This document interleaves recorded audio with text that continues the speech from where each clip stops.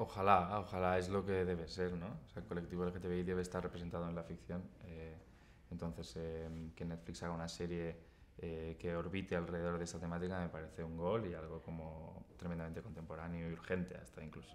Es bonito poder contribuir ahí también.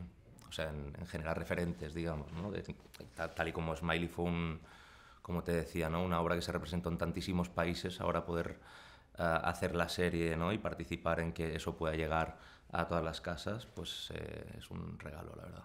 ¿Y crees que llegará un punto en el futuro en el que no haya ningún prejuicio con el, con el tema este?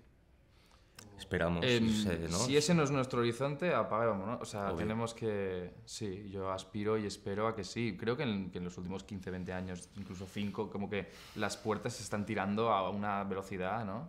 Brutal. Entonces yo confío. Y lo, lo vemos con las generaciones jóvenes, ¿no? Cómo suben los, chava- los chicos, las chicas. O sea, eh, bueno, sí, yo creo que sí.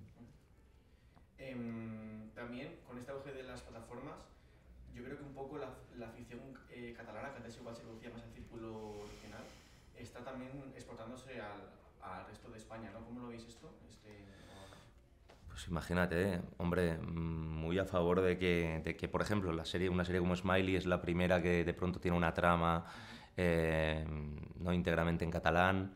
Eh, para nosotros es un orgullo y es un placer también que se pueda conocer nuestra lengua y que viaje tanto, ¿no? A 180, 190 países, no sé cuánto se estrena esto,